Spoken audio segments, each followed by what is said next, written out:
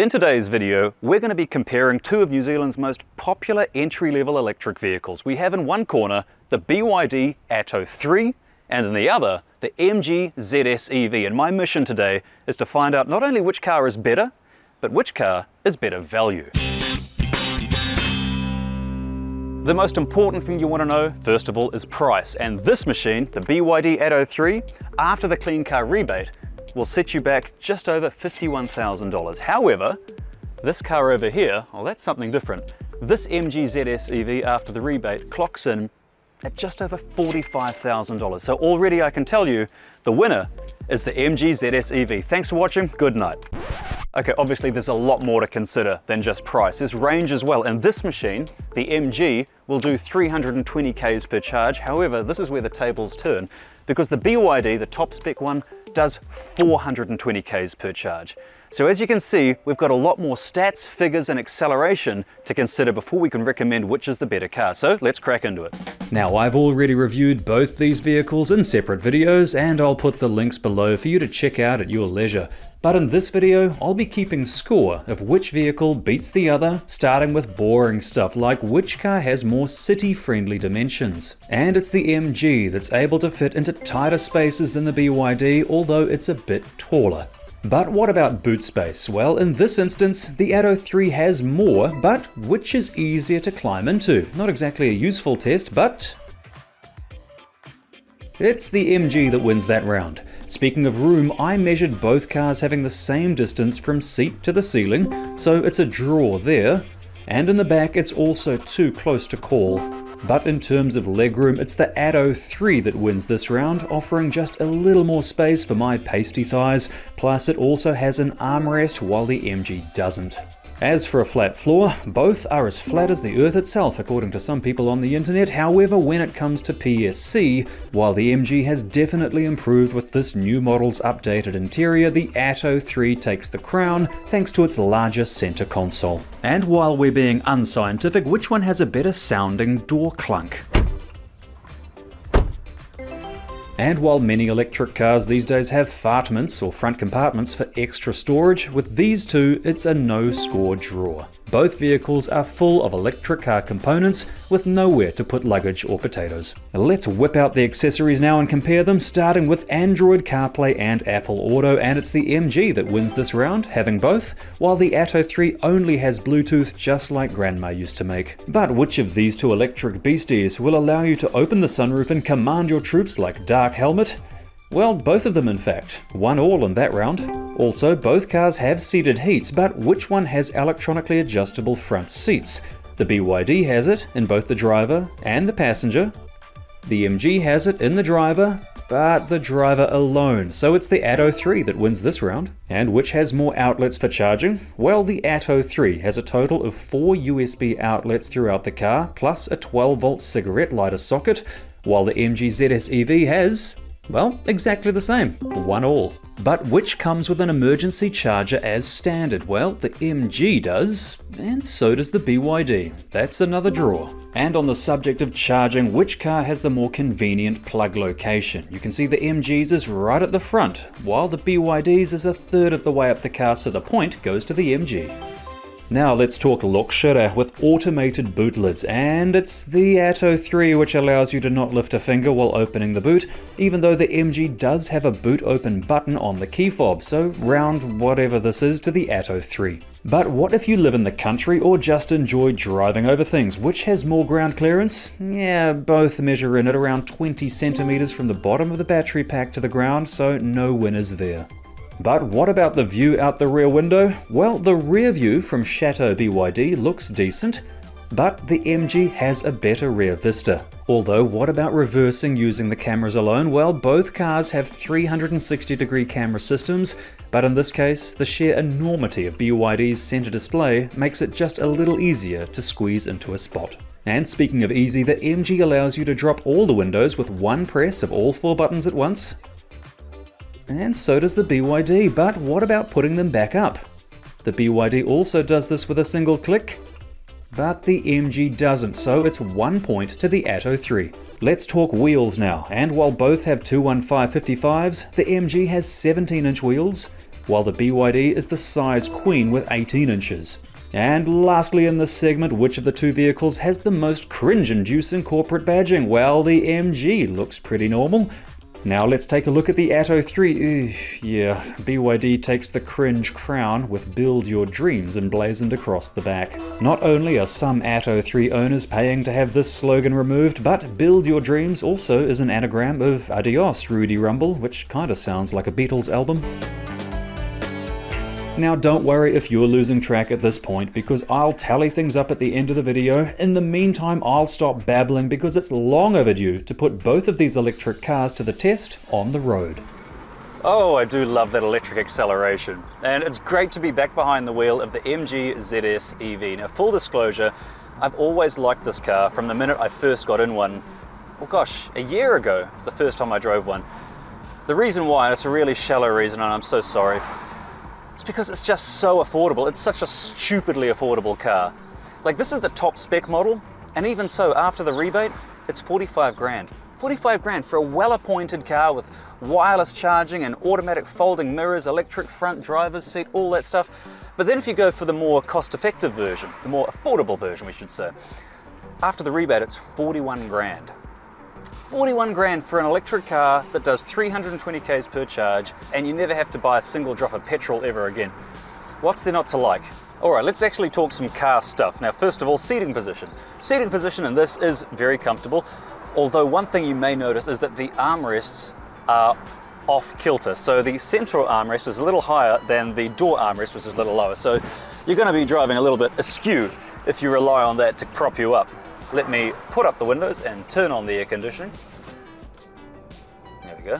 The first thing you notice once you put the windows up is it's quiet. The loudest noise in this car is the fan from the air conditioner, and that's not even turned up high. There's something about electric cars that just makes you calmer. In fact, it's scientifically proven that electric cars make you calmer. And this is a great example. It's a lovely, spacious, comfortable car. The pillars are not too thick. The rear vision mirror does not hang low and obscure your vision the cathedral-like glass ceiling lets in a lot of light. Even though it has a very dark interior, darker than my soul, it's still a very pleasant place to be. It's also got gadgets you'd expect when you're paying 45 grand. It's got the speed sign detection. It uses actual cameras to read speed signs as they go past, and it will show the corresponding speed sign on the dashboard. However, it's not always very accurate, so be warned, you shouldn't rely on it entirely to figure out what speed the road is you're on.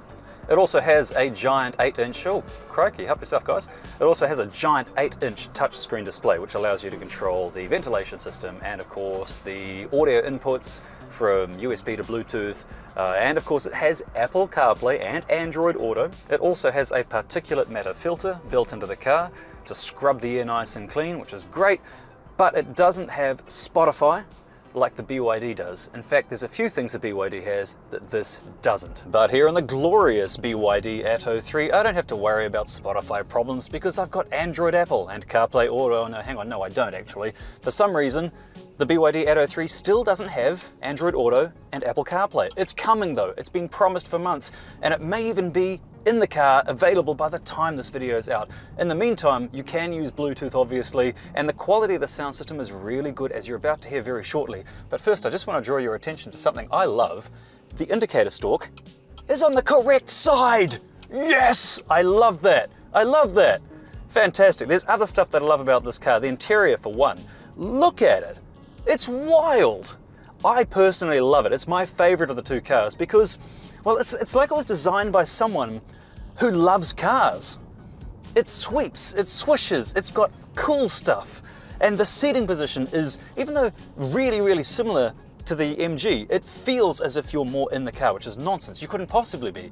The seats are the same height off the ground. You're in the same sort of position, but this gives you more of a, I don't know, a, a sporty car feel, which is crazy. It's all, it's all a mind trick. But back to the dashboard design. I love it personally, but I do know that there are people who won't buy this car simply because they think this is too radical. There are people who've gone with the MG ZS EV just because they don't like the design. And I get it. It's wild. It's a bit out there even for me, but I like anything that's different. I mean, look at this mission control thing. This whole design was based on exercise equipment. The dashboard design is to reflect sinewy muscle. This whole center console area is based off a treadmill. See, there's the bassy motory bit here. There's the part you run on. It's all very based on exercise equipment. It's designed to make you feel athletic and strong, something I never do. And something else this car has that the MG doesn't is a built-in dash camera.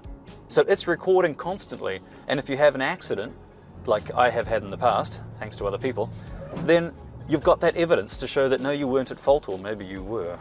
But even if you were, this car, like the MG, has a 5-star safety rating, more airbags than Parliament sitting.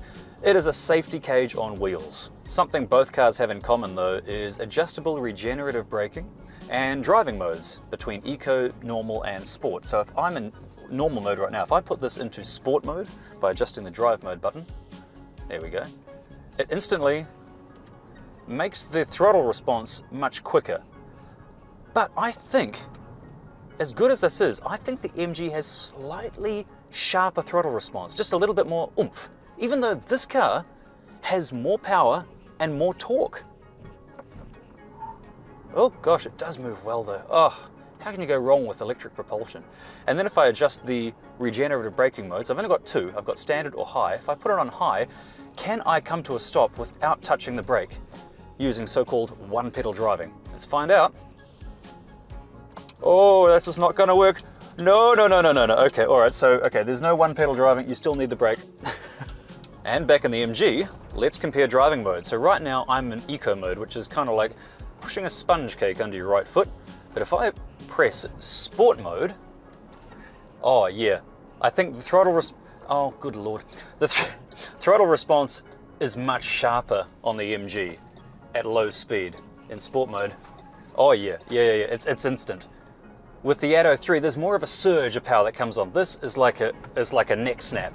It's brilliant. But what about regen braking?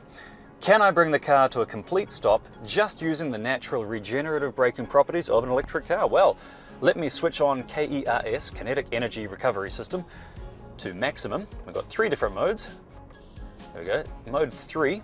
And what I'm gonna do is I'm gonna approach the same giveaway sign, take my foot off the brake, oh, it's better, but no, I still have to press the brake. So all that info is fun, it's fascinating, but you can't really review a car properly in Auckland City. I mean, we're crawling along in roadworks as is normal in Auckland. What I want to do is take these two beasts out of the city on a preset course for both of them, test their handling, test the lane keeping assist, the adaptive cruise, the noise levels, all that sort of stuff, and then put them side by side, and of course also test the charging speed. And we're going to crack into that tomorrow on another beautiful sunny day. But first, here's some family friendly info you need to know, plus Let's test the audio systems. Let's start with comparing child seating. The ZS EV has two ISOFIX connections on the rear seat, and so does the Atto 3. But the Atto 3 has another ISOFIX connection on the front passenger seat, so the point goes to the BYD. Next up, let's compare rear seat width for extra wide child seats, and the BYD's rear seat is 132 centimeters wide, while the MG's is 126 centimeters, so another point to the BYD. But what about boot length? From the seat to the boot lip, the MG offers 164 centimeters, while the BYD offers 161. Point goes to the MG. And on the subject of hauling stuff, both vehicles can be outfitted with tow bars, with the MG able to tow up to 500 kilos braked, while the BYD can tow up to 750 kilos braked. Spare tyres anyone? No, unfortunately not. Like many new cars, both these vehicles only have tyre repair kits instead of actual spare tyres, so nil all, and good luck on your road trip. As for paint colour options, the MG has 5 paint colours to choose from, all included in the price, while the BYD has only 4 and 3 of those cost extra. And lastly, let's compare the MG's 6 speaker sound system with the BYD's 8 speaker sound system, which is clearer with more depth.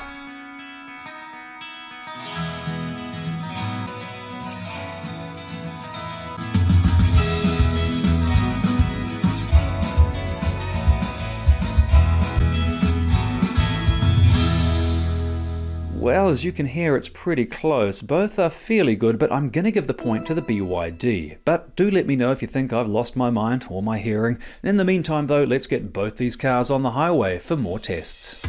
And we're on the motorway and it's time to test the adaptive cruise and lane keeping assist and I've already actually tested this when I did full reviews on these cars and to be completely honest, neither systems were brilliant, and that's because good lane keeping assist requires good hardware, and good hardware is very expensive. That being said, let's turn it on and give it a go. Now the MG has one problem with its cruise control and adaptive cruise settings is that it's hidden on the stalk behind the steering wheel spoke. So to turn it on, if I can go from memory, I can't see what I'm doing. I'm just going by going by braille here.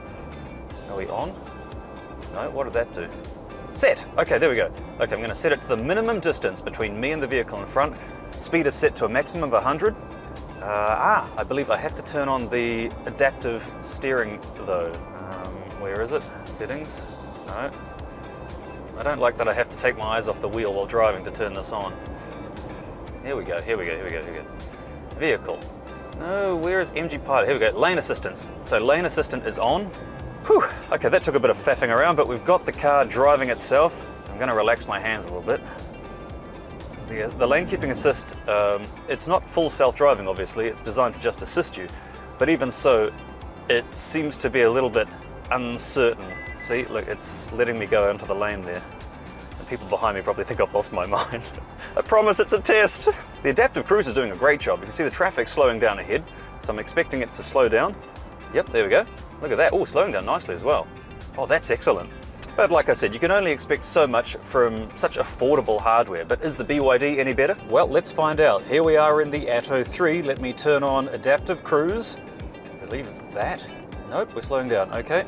I thought it'd be easier to use because it's right in front of me, but obviously not. Resume. Set. Go, go, go. Why are you slowing down?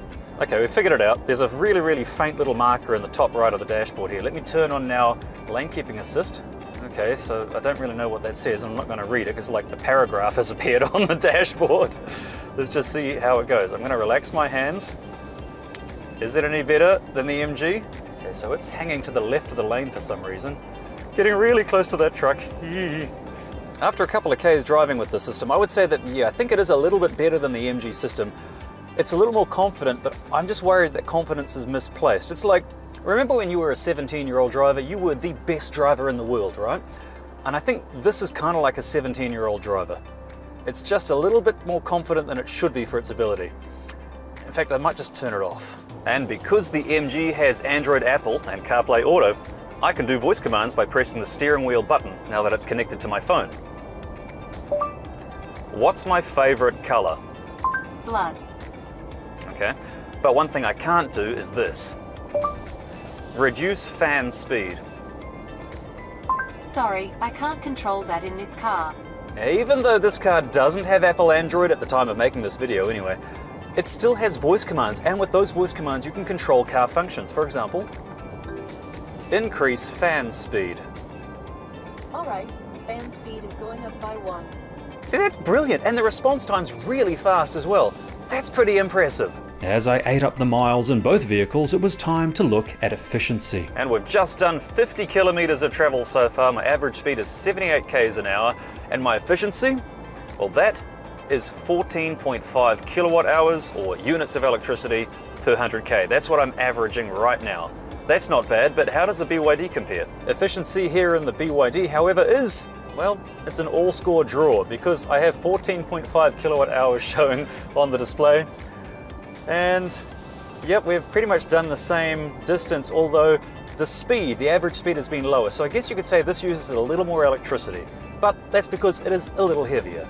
But onwards, because now I want to test the deceleration or regen braking, and of course, the noise levels and 0 to 100 time. But let's start with the MG.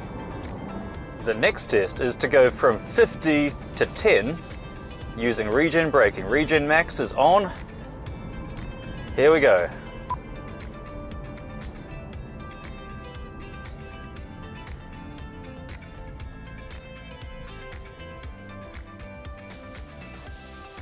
There we go. And now the BYD, 50 to 10. Ready, and go.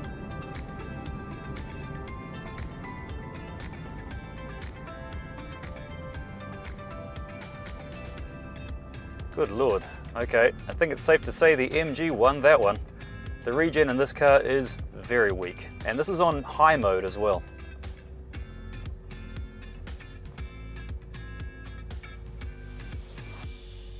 Oh boy, okay, I might just give up. Let's cut straight to the 0 to 100 time, starting with the MG. Three, two, one.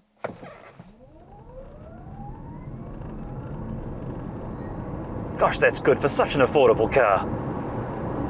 Okay, that was pretty impressive, but is the BYD any better? Three, two, one. It feels a little sluggish off the mark. Okay, oh, it ramps up. Okay, it ramps up quick. Whoa, look at that. Okay.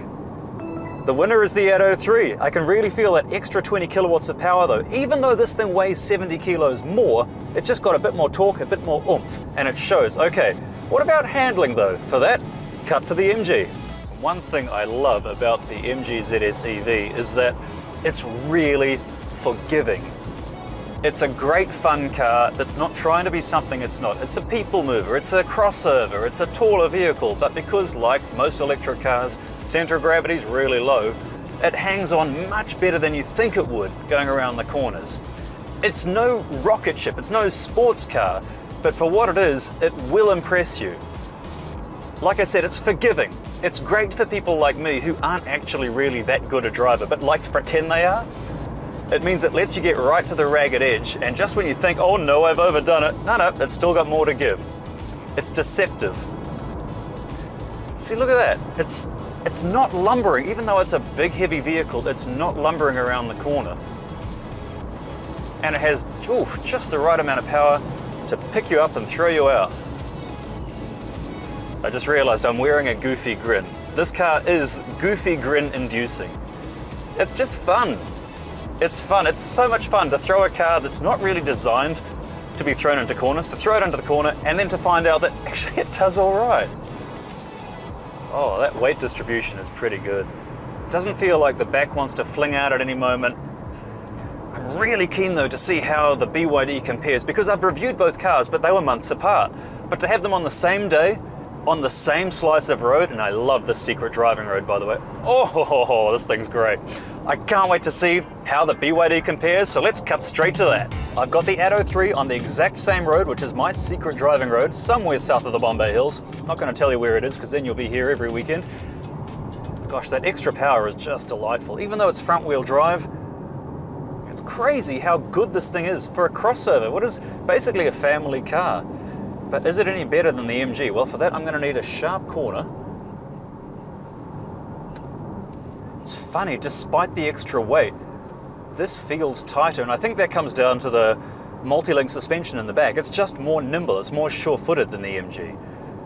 But that doesn't mean the MG doesn't handle well. The MG handles well, but this is just a step up. Although, I think the MG is a little more forgiving for people that can't really drive that well, like me. Even though this is a family car, it's a family crossover, it doesn't handle like one. That's insane. Woo! See, I think we're getting near the limit there. And that's the difference between this and the MG. The MG, when you get near the limit, it's okay. You've still got more cornering, more handling, more tire left. With this, when you get near the limit, that's the limit. Once you're over that limit, you're in the ditch. oh, I think if I were purely interested in driving and handling, I would probably choose the Atto 3. But if I'm more interested in comfort and forgiveness, I'd probably take the MG. Oh, I've got the same goofy expression on my face, I just realized. oh, this is fantastic. What a tough choice between this and the MG. The MG is good, but this is maybe just a little gooder. Ah, okay, what about charging though? Well, let's take the MG to the Hyper Rapid charger and compare this to that. But first, let's look at cabin noise at 100 k's an hour on our coarse chip roads. The Atto 3 is just over 76 decibels, while in the MG it's exactly the same, so another draw there. Okay, now let's talk charging speed, and you've got three main options. Option one, you could charge both cars at home using the granny chargers that come with the vehicles, but a full charge would take you a day and a half. Option two is to install a 7 kilowatt wall mounted charger in your garage, which I'd recommend doing if you drive a lot, with a full charge taking around 8 hours or overnight, and one of these chargers would set you back 2 or 3 grand depending on how complicated the install is, but it's a good investment. Option three, and the best option for a road trip, however, is to use one of ChargeNet's rapid rapid chargers, and they have heaps of these things all over the country, with more going in every single month. Plus, they also have a growing number of hyper rapid chargers, which can not only charge three cars at once, but can pump out 300 kilowatts, and that means with cars like this one, I can put 100 k's of range back into the battery in just over 4 minutes. It's insanely fast and I love where the technology is going, and not only that, but all of ChargeNet's rapid chargers run on renewable electricity because it all comes from Ecotricity, which is our country's only carbon zero certified electricity provider. That means that every single electron you pump into your car is made from only renewable wind power, hydropower, or solar power. So, not only is it the cleanest electricity in the country, but it's really affordable too. I mean, I use them and I'm a tightwad. So head over to ecotricity.co.nz and chuck in your address to see how much money and carbon you can save by switching over today. But now let's see which of these two cars charges fastest, starting with the MG. I have the battery down to 28%, which is not too bad considering I've done two days of fairly enthusiastic driving. But what's the charging speed like? Let's find out. Okay, so using one of these ChargeNet chargers is a piece of cake. You either use your mobile app or swipe your key fob, which I will do. You select your plug type. Now this car uses CCS, that shape there. CHAdeMO is mostly for older cars and Nissan Leaf. So let's select that one. The plug will flash, and there are two CCS plugs on each of these two chargers. So I'm gonna grab the flashing one. All right, let's plug it in, and now we get to see how fast this car charges. All right, so it's been charging for just over a couple of minutes now, and we are peaking at about 66 kilowatts. Now that's not too bad, that means it's probably gonna reach 80% full in about 30 minutes or so. Let's find out. All right, so we're now up to 80% charge and it's taken 30 minutes. Now the question is, is how does the BYD compare? Just as before, to use the charger, use your mobile app or swipe your key fob. Select the plug type, we know it's CCS just like the MG. Then you grab the one that's flashing, that one, and you plug in the car. Okay, it's been a minute now and already the charging speed is 88 and a half kilowatts. Now that's a little bit faster than the MG, but we have more capacity to fill. So let's check back in a few minutes. Now the car is charging, I can quickly talk to you about battery warranties on these vehicles. Now the BYD it has a battery warranty of 8 years or 160,000 kilometers. That's very impressive. Whereas the battery warranty for this MG ZS EV, although it's 7 years, not 8 like the BYD, it's unlimited kilometers. And as someone who does a lot of Ks every year, I'd probably burn through that BYD 160,000 Ks warranty in about 4 or 5 years.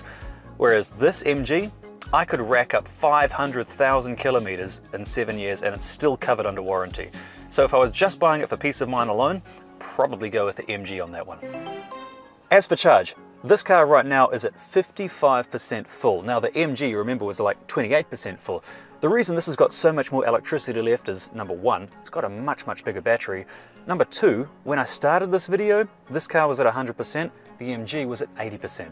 So in a future video comparison, I'll get both cars starting at 100%, but I'm pressed for time. I've only had two days to film the video and only three days to edit it, so it's been pretty hectic. Next video will be obviously much more comprehensive. If you did get a kick out of this video though, please give me a like and a subscribe, even if it's purely out of sympathy. I don't mind, just lie to me. As for the next video, you're gonna wanna subscribe for that alone because it's a weird vehicle that I'm really looking forward to seeing. It's, it's like nothing I've ever driven before. Hit the subscribe button, you won't regret it. Right now, let's get this thing charged up. Well, it's only been 16 minutes and we've already reached 80% in the Atto 3. So, in terms of charging speed, that's the winner. Well done, BYD. And with both cars charged up, it's time to unplug, hit the highway, and see which is the ultimate winner the MG ZS EV or the BYD Atto 3. Speak of the devil, there's a BYD Atto 3 passing me. And if after watching this video you're still undecided of which car to go with, then why not check out this third option? It's a wild card that I got to review called the SsangYong Korando E-Motion. Not only does it tow more, but it also has more room inside. So check this out. Yep, the SsangYong Korando E-Motion is an all-electric people mover. It costs 51 grand after the clean car rebate and does 340 k's per charge. It's also longer and wider than both the Atto 3 or the MG ZS EV, while being able to tow up to 1500 kilos. Now I had the chance to put one of these through its paces recently, so be sure to check out that video as it is decent value for money being ideal for bigger families and for taller drivers. But at last, it is the moment you've been waiting for, the total, the summary, the tally of the score. Which car is better, the MG ZS EV or the BYD Atto 3?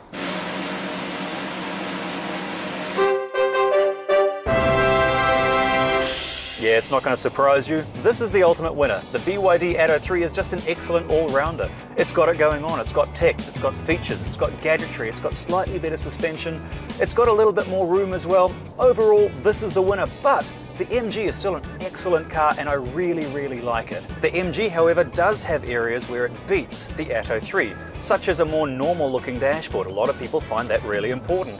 Also, it's much, much more affordable. Seriously affordable, like stupidly affordable. But regardless, both cars have great battery warranties, have batteries that are going to outlast the car, are full of features, are incredibly safe, and will give you miles and miles of happy motoring. But which one would I choose personally? That, oh, that's really tough because on one hand, I love the gadgets and features of the Atto 3, but on the other hand, I am part Dutch and a natural born tightwad, and that means that I'm kind of inclined to buy the MG just because it's stupidly affordable. I mean, both versions of the MG, both versions of this car, the MG, are cheaper than a brand new Honda Civic. And how are they doing that? I don't know. It's crazily affordable. Regardless of which vehicle you choose, both vehicles are very efficient, both have stupidly long warranties, both are incredibly safe, and if you're running on Ecotricity's power, both are entirely emission free. You can't lose. The thing is though, regardless of which vehicle you go for, whether it's the MG or this BYD, I don't think you're going to be unhappy with your purchase because I've spoken to both owners of both vehicles and both of them are stupidly satisfied. So I don't think it matters too much which one you go for, you're not going to be unhappy.